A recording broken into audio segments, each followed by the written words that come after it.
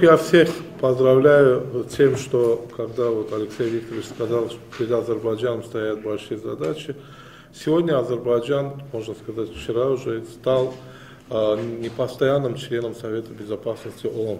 Это большая победа. Это огромная победа. Во-вторых, э, я хотел бы сказать слова же Карпова Сергея Павловича, который был в этом году в Баку, и это была первая поездка вообще его на Южный Кавказ, а ему немало лет. И он э, во время встречи э, сказал такую вещь. Для России нужно и необходимо, чтобы каждый азербайджанец любил искренне свою родину. Если он искренне любит свою родину, и я еще раз повторяю в этом слове искренне, мы можем любить себя, мы, любим, мы можем любить карьеру, к которому двигаемся, мы можем э, относиться к этому понятию формально. Но я хочу сказать одно. Если на самом деле мы искренне любим свою родину, а любовь началась к родине, к любви своей матери, к своей улице, к своему дому, к дереву, которое растет рядом с этим домом, тогда мы можем быть истинными друзьями и России. Почему? Потому что тогда мы поймем э, интересы Азербайджана, и поймем, что эти интересы во многом совпадают а, с тем понятием, что необходимо нам дружить с Россией. Просто необходимо.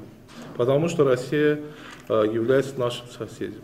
Если коротко посмотреть за 20 лет, что произошло, я хорошо помню 91 год, декабрь месяц. Я извиняюсь, январь месяц. Январь месяц. А в декабре а, якобы мы получили независимость я имею в виду Азербайджанская республика.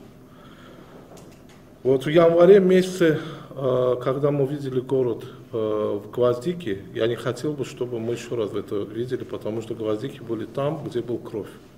Вы знаете, что 20 января туда вошли войска.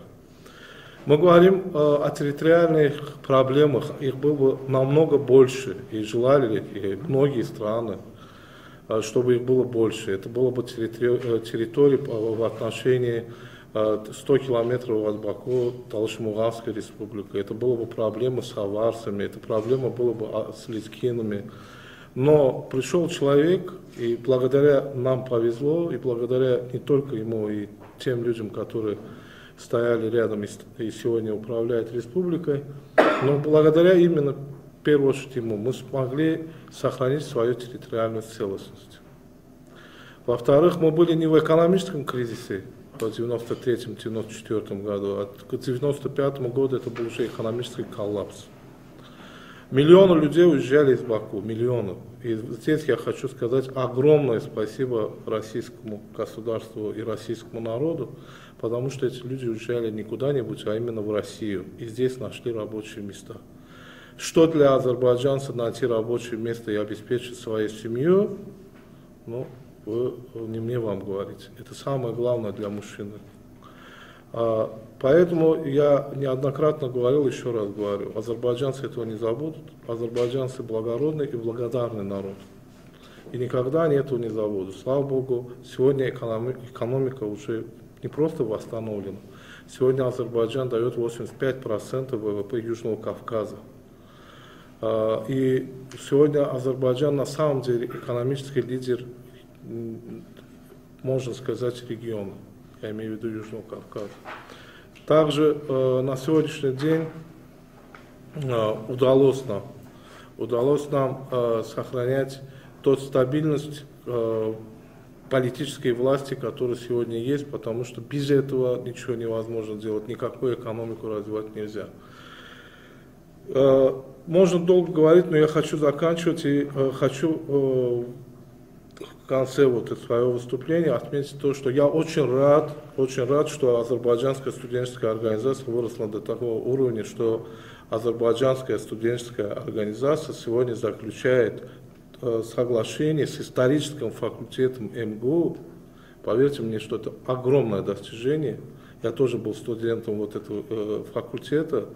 Потом, но я не, мечтать не мог, что может быть у нас, у азербайджанцев, такая структура, которая и будет иметь возможность заключать э, соглашение о сотрудничестве на уровне исторического факультета. Э, это очень большое дело.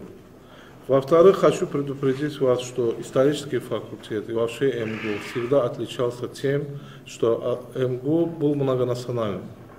И э, никогда э, не чувствовал, как представитель любого народа, здесь каким-то чужим. МГУ имело такую э, ауру, что здесь все чувствовали себя великолепно. Это государство в государстве, город в городе. Это велик, великий студенческий город. И, и исторический факультет один из лучших факультетов. Э, и я хочу сказать, что та дружба, которая, основа дружбы, которая закладывается в студенческие годы, они закладываются на всю жизнь. Конкретный пример это вот то, что я сижу рядом с Власовым. Конкретный пример, вот, э, что сидит за этим столом э, советник по политическим вопросам посла Асеф. Это все, и много можно об этом говорить. Я хочу сказать, чтобы я очень хочу и я уверен, что э, именно это будет продолжаться, вот эта преемственность отношений. И мы готовы э, поддержать и помочь делать реальные дела, конкретные дела. Я думаю, что здесь э, представители очень серьезной структуры Всероссийского Азербайджанского конгресса, и их присутствие здесь тоже еще раз говорит, что есть силы, которые нас поддержат, и мы в правильном пути.